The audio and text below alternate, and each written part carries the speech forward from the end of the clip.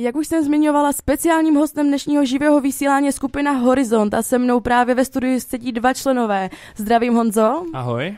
A zdravím Davčo. Čau. Tak kluci, začneme hodně zostra a já se zeptám, jak byste charakterizovali vaši skupinu? Tak kapela Horizont je pětičlené uskupení z Luhačovic, cí vlastní tvorbu. Uh, spadáme do žánru rokového, dále zase nějaké další myšlenky zbytečné. A kdo právě přišel s nápadem založit si skupinu? Který z vás? Který tak. byl ten odvážilec, který to řekl? tak s nápadem přišel tady náš kapelník Honza. Vlastně bylo to před zhruba dvěma lety, kdy se u něho na půdě sešel s naším basákem Milanem a řekli mm-hmm. si mhm. teda, že založí tady toto uskupení. Takže to takhle vzniklo, jo? Takový, takový nápad, nápad, který Horizont mm-hmm. si pro počátku úplně neměl, název, ale ale později, později teda dostal název Horizont, a, což my jsme samozřejmě taky nevěděli do, do poslední chvíle název, který vymyslíme. Jasně. Bylo nějaké výběrové řízení, nebo jste třeba jako, že se znali jako kluci už jako taková pětka? Naše výběrové řízení, Davčo, jaké bylo naše výběrové řízení? Naše výběrové řízení bylo takové, že jsme se sešli s Milanem, pak jsme k tomu přizvali Jakuba, ten přizval svého jednoho člena zpěváka a potom přizval ještě druhého člena, takže to bylo naše celé výběrové řízení. A vy jste mi řekli, že jste kytaristi, tak kdybyste nám řekli, kdo jakou má funkci dál ve skupině. Tak uh, basák, která uh, je Milan Slovák, mm-hmm. student v Brně, dále náš úžasný zpěvák Lukáš Fojtu, který taky studuje v Brně, no a poslední rytmus nám drží uh, Jakub Zvoníček, který teda hraje na bici. Horizon, kdo přišel s názvem, jak to vzniklo a co to má vašim posluchačům právě říct? Tak s názvem Horizont to přišel asi náš basák, temperamentní Milan, který jednoho dne, nebo spíš jednoho, jednoho dopoledne na horách se svojí přítelkyní se díval z okna a napadl ho výběžek, který potom dostal teda, mhm. dostal asi jako tady ten název Horizont celkově značí asi asi nějaký vrchol, jo, my jsme se na tom všichni shodli, že se snažíme se dostat do nějak, k nějakému vrcholu Jasně. a stejně člověk jako každý jiný, tak eh, pokud se na ten vrchol dostane, tak mm-hmm potom stejně hledí na další, další vrchol, další, další metu ve svém životě, kterou, kterou chce dosáhnout. Proto právě taky Horizont. Jo, tak to je super, to se mi moc líbí. A vy nezapomínejte, že posloucháte rozhovor s kapelou Horizont. Určitě nás nevypínejte, protože v dalším vstupu se o této kapele dozvíte mnohem, ale mnohem víc. Posloucháte Kostka Radio, které pro vás připravují studenti střední školy Kostka a fakulty společenských studií Vysoké školy Humanitas ve Vsetíně.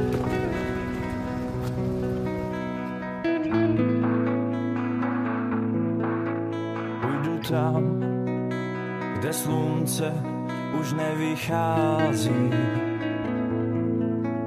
Půjdu tam, kde všechna světla vyhasly. Půjdu tam, kde hvězdy se střídaj s měsícem. Najdeš mě tam, kde šťastní budem žít cítím šanci a už nic neříkám. Cítím šanci a tajně vzpomínám. Tak krásná a vábivá ležíš v mých peřinách,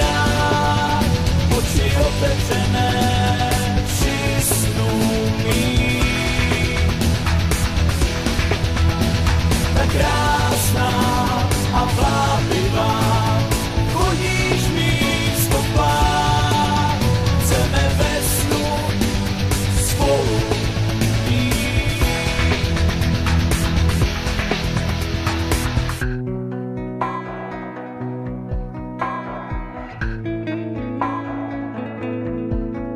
Půjdu tam, kde slunce už nevychází tam, kde všechna světla vyhasly. A půjdu tam, kde konec světa zdá se být. Najdeš mě tam, kde spolu budem snít. Cítím šanci, šance a už nic neříkám Schatten, Schatten, Schatten,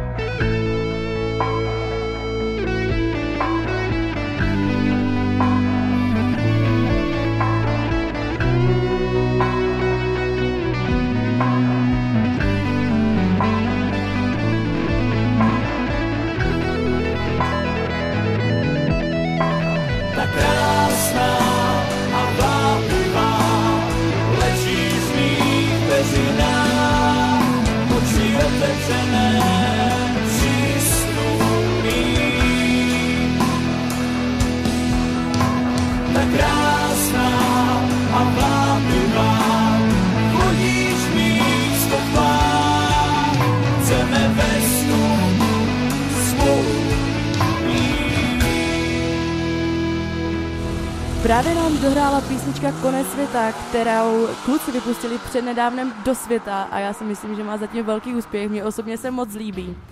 A vy nezapomeňte, že posloucháte Kostka Rádio. A kluci, já se vás zeptám, hrajete pouze své autorské písničky nebo i přespíváváte? Tak vize Horizontu byla jednoznačná a sice hrát vlastní tvorbu.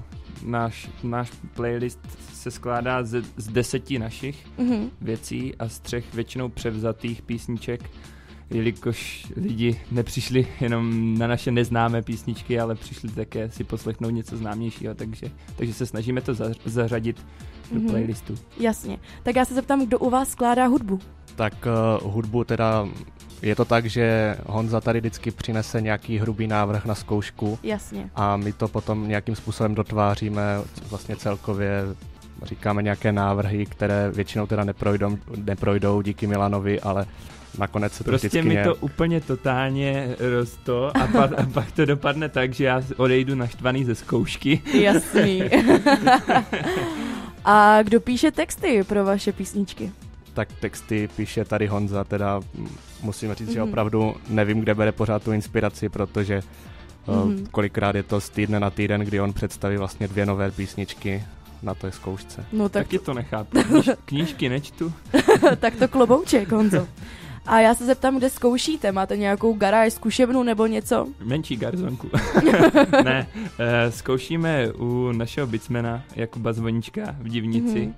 Což je, řekněme, asi část Slavičína. No, dalo A- by se říct. A, a, a, a druhá, druhá zkušebna je teda v Vlačovicích na ZUŠ, Jo, jo, na základní umělecké škole.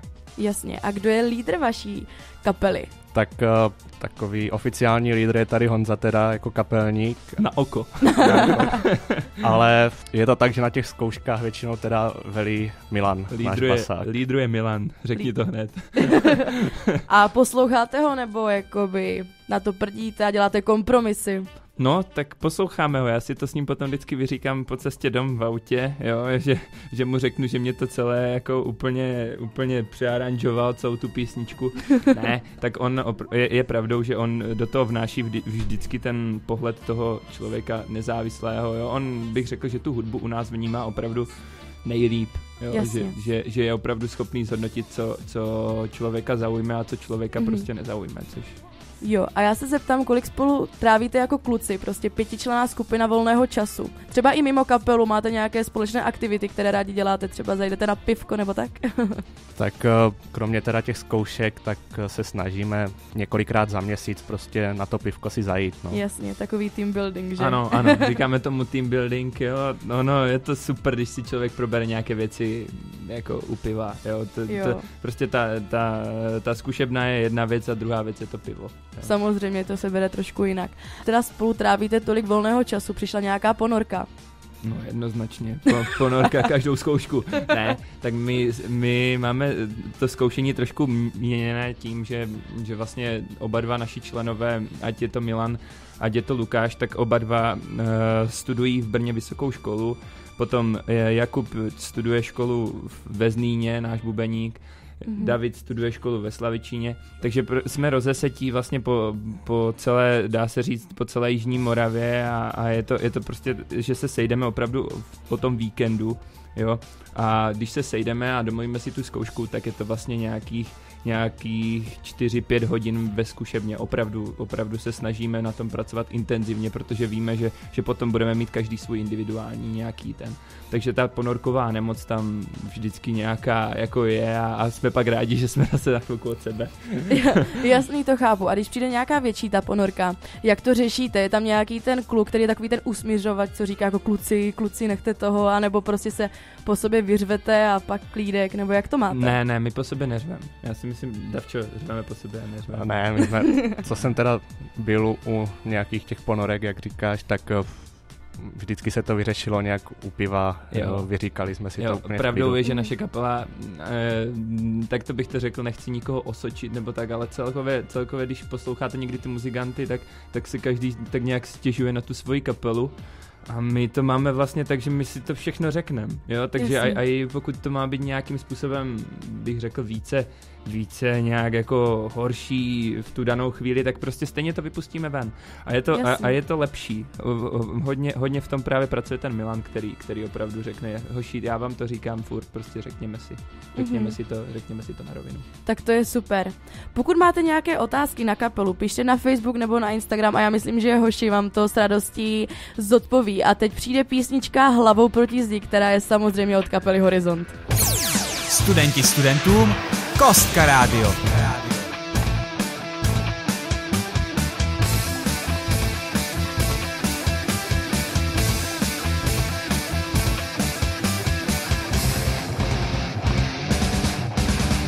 Musím se přiznat, že nevím, jak to chodí a jak se v životě chovat. Ostatně proto se člověk nerodí, aby ho sneh mohl jen Řek pomalu stoupá a mě touha nutí hlavu pročistit. Jít okolí marně doufá, se začlenit s proudem dálí nechci s proudem dálí. Prostě jsem měl asi vědět, že všechno musí být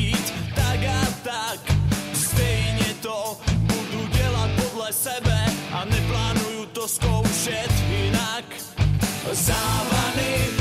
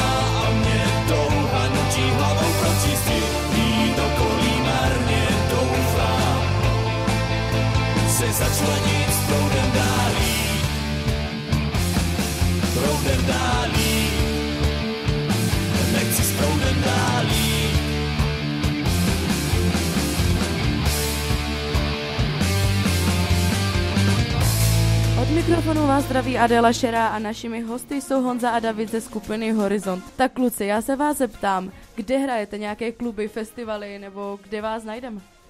Nejčastěji nás asi fanoušek může potkat na pivních festivalech, Mhm. měst, městských slavnostech. Je to, je to opravdu různé a teď máme i klub hrát, takže Takže opravdu. paráda. se zeptám, jak vypadal váš první koncert? Tak to už je, eh, to už je dva roky a první koncert, pokud si teda dobře pamatuju, tak byl ve Slavičíně na nějakém dětském dni, kdy jsme vystupovali vlastně poprvé úplně v naší sestavě a Ostrá zkouška. ano, taková ostrá zkouška to byla. Já si teda myslím, že to dopadlo docela dobře na to, že jsme hráli teda Bylo poprvé. to fajn, bylo to fajn. Jak dlouho jste třeba cvičili na to svoje první vystoupení? My jsme strašně dříči a pak to vždycky nějak, protože víme, že to vždycky dopadne nějak hůř, takže, takže tam, tam my jsme prostě, my to nadřem a pak to nějak dopadne na tom koncertě, ale, ale myslím si, že obstojné to bylo. Bylo to i tak obstojné, když každý muzikant tam vždycky našel nějaké svoje chyby. Mhm. A kde se vám zatím nejlíp hrálo? Tak uh, bylo to asi shodou okolností taky ve Slavičíně.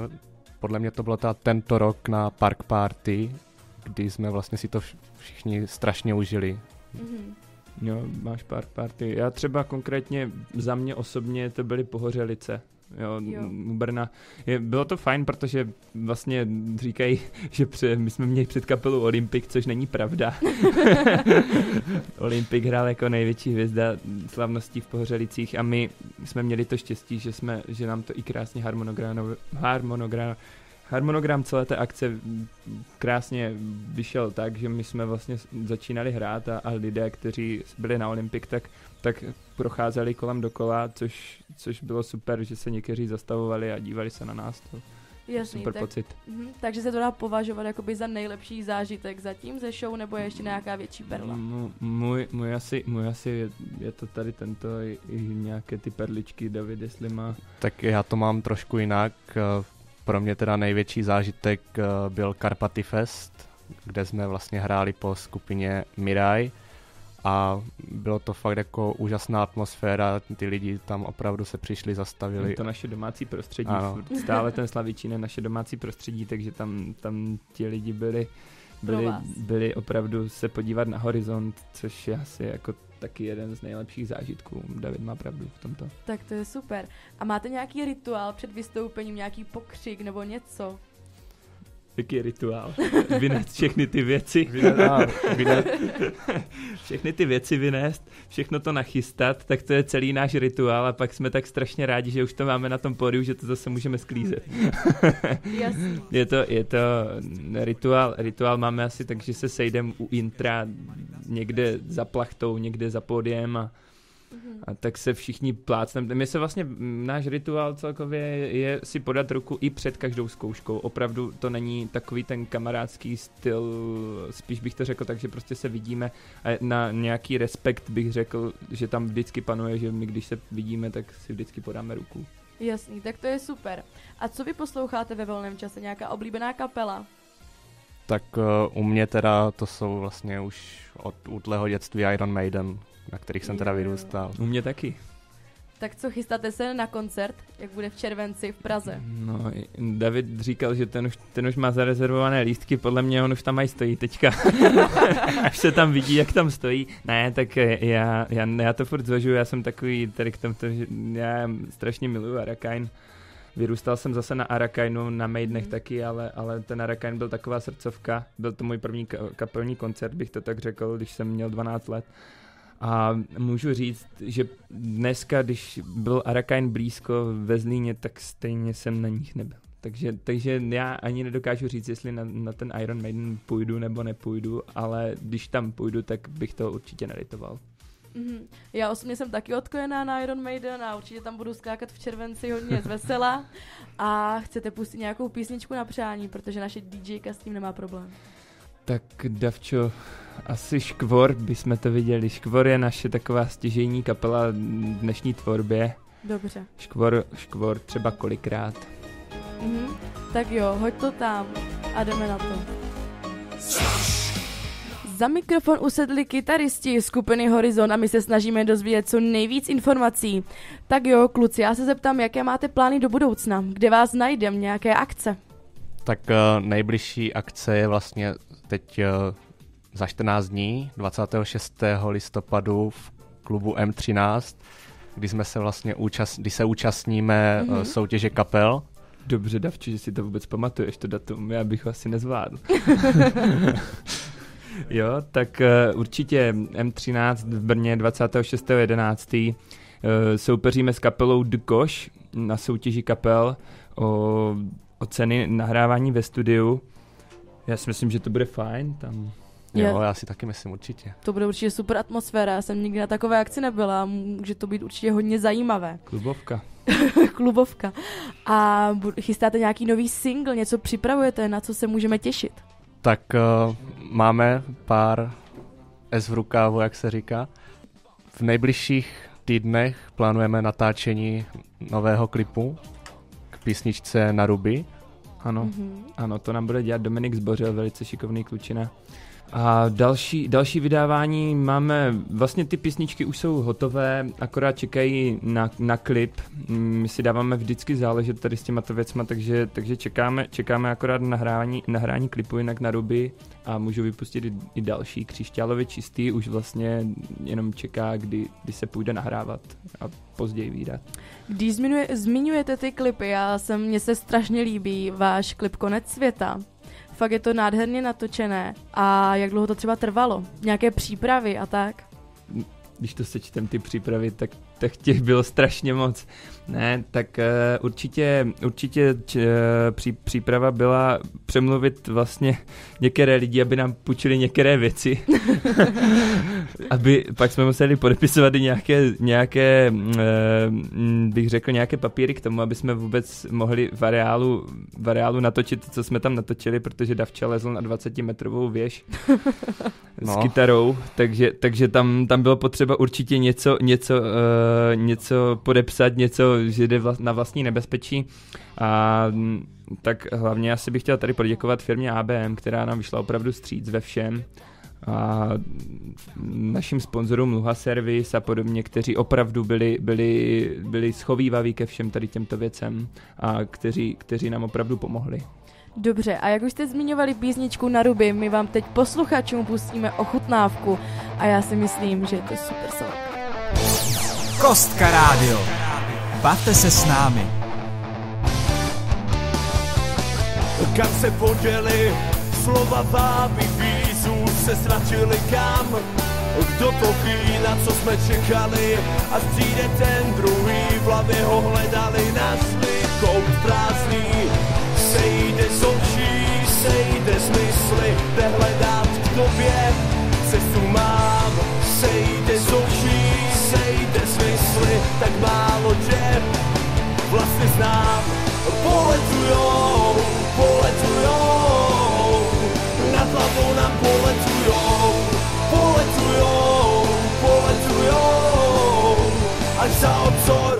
se znesou.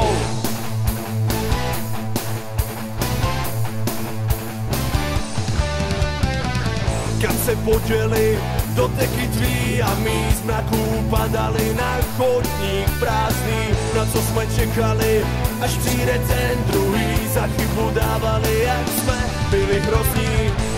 Sejde z očí, sejde z mysli, jde hledat k tobě, cestu mám. Sejde z očí, sejde z mysli, tak málo tě vlastně znám. Poletujou, poletujou, nad hlavou nám poletujou, poletujou, poletujou, až za obzor se znesou.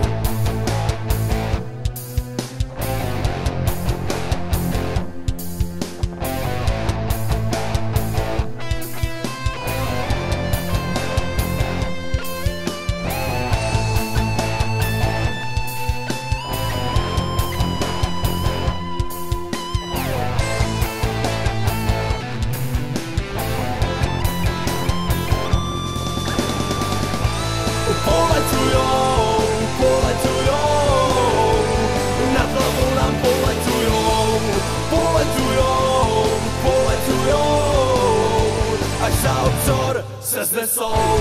Poletujou, poletujou, sami svoji páni jsou. Poletujou, poletujou, za horizont se znesou. Vy posloucháte Kostka Rádio a ve studiu stále sedí skupina Horizont a my zabrousíme trošku do osobního života kluci a já se zeptám, co vy a holky, máte přítelkyni? Uh, jo, Dabčo? Uh, ne. Ne? A co faninky? Davčo. To je všechno na Davču teď. Já bych dostal.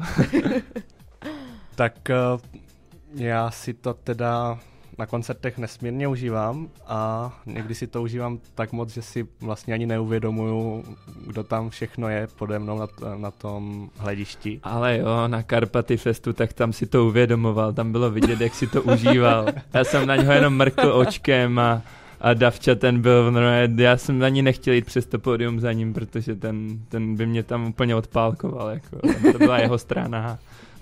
Je pravda, že teda náš basák říká, že při vystoupení v Brodě, kde jsme hráli, tak, Brodě to bylo, no. tak Brodě. Uprostřed pódia před ním a před uh, Lukášem bylo prázdno a všechny holky vlastně byly po stranách, kde hrajeme já teda. U kytar, s no prostě. No tak kytaristi jsou vždycky hot téma. Takže jak mi řekl už Honza, tak kluci jsou zadaný a jenom Davča je single, takže nějaká vzrušující noc s Uděláme tady konkurs. Davča je krásný mladý pohledný muž, takže slečný určitě mu napište. A kluci, přiletěla vám nějaká podprsenka už na pódiu, nebo dokonce nějaká jiná věc? No tak, tak Honzo. Ne, díky bohu ne, jako, ne, nebo jako díky bohu, tak díky bohu vztahovému klidu. ne, zatím nic nepřiletělo a, a já, já ani nechci, aby možná přiletělo ně, něco. Já myslím, že ale Davča by si to užíval. Jo, tak já bych ho určitě předal Davčovi, ono to všechno jde směře, směřuje to všechno k Davčovi, takže prostě, takže i podprsenky bych mu nějaké předal určitě, kdyby letěli náhodou omylně na mě. Takže já myslím, že Davča bude mít brzy svůj malý nebo dokonce i velký harem. No, no to tak vypadá, no. A tak, aby se teda mohli faninky i fanoušci samozřejmě podívat, jak vypadáte, tak zmíňte nějaké sociální sítě, kde vystupujete, Facebook, Instagram nebo cokoliv. Tak určitě nás můžete vlastně najít na veškerých sociálních sítích, na Facebooku jako Horizont Official, tak uh, také na Instagramu. Všechno, všechny tady ty sociální sítě, kde nás najdete, akorát u webu a mm, možná i u Facebooku nezapomeňte vždycky slovíčko OFFICAL, protože to je, to je asi Mhm. stěžejní v hledání, takže, takže prostě Horizont je jenom jeden, Ho- Horizont oficiál. Dobře. Kluci, já vám děkuji za rozhovor, bylo to super, já myslím, že jsme společně ve studiu i zasmáli Hm. a jsem moc ráda, že jste do našeho malého studentského rádia zamířili. Tak my děkujeme určitě. Jo, my jsme rádi za to pozvání. Dobře, tak dnes ze studia pro vás živě Adela Šera a skupina Horizont. Studenti studentům, Kostka Rádio.